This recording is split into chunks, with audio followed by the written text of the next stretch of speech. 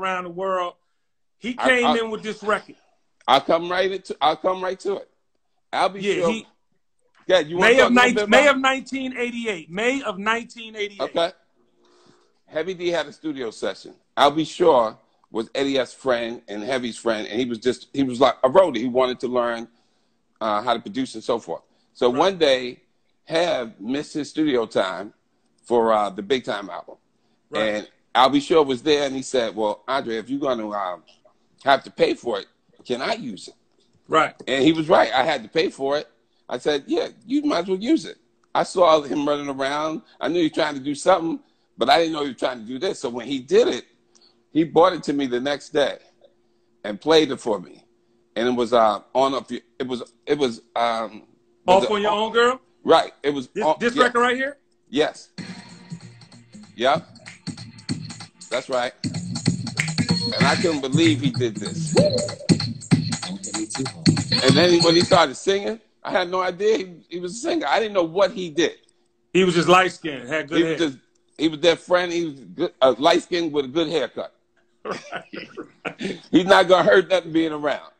So right. when he when he did that record, um, MCA was not viewing me yet as a label. They were viewing me as, you know, I got one artist that did well. Focus on that, Andre, because I'm young. They're like, focus on that. So I took Al B. Sure to Benny Medina over at Warner Brothers Records. Right. And I knew, I knew that Benny Medina was going to like Al B. Sure. Wow. All right, because because Warner Brothers was more of like they didn't have no street street guys. They had you know polished people, Al Jarreau or somebody. Yeah, Prince yeah. was more of a rock guy. Yeah. So I knew Al B. Sure could come and be good. So Al, I, Al, Benny flew Al and I out there. One meeting, it was done, and and and Benny was on point.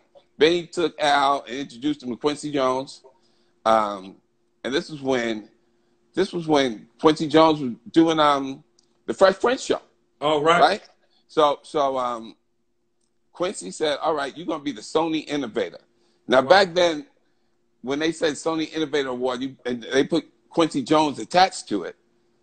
Um, it was over. you know, it was like a Grammy. Like yeah. you never heard of it before, but my, is, is Quincy Jones after Thriller? Oh, this must be the highest level of artistic excellence, and we ran with that right. introduced him all over the country as as the Sony innovator Quincy Jones wow. picked this year.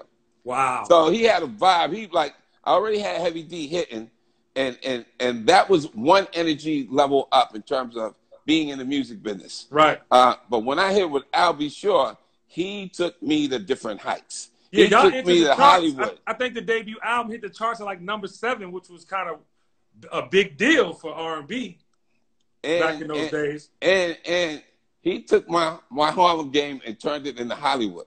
It went Harlem Hollywood with him because they wanted him at all the right places. Hip hop wasn't always invited to all the right places. No, Al B. Sure this light skinned boy with the curls, he's he's at the right, right, right spot all the time. Let, let me say